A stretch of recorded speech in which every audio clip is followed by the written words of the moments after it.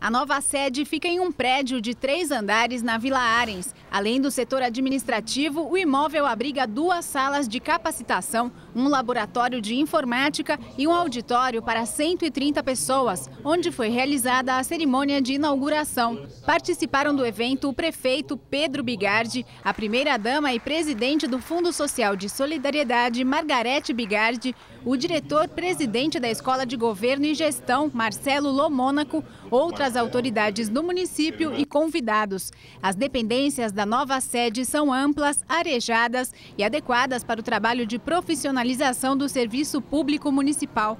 Na escola, são oferecidos cursos de formação e capacitação aos funcionários.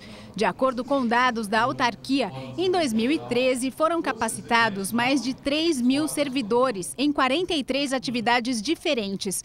Em 2014, o número de profissionais atendidos passou de 6 mil e foram cerca de 80 cursos.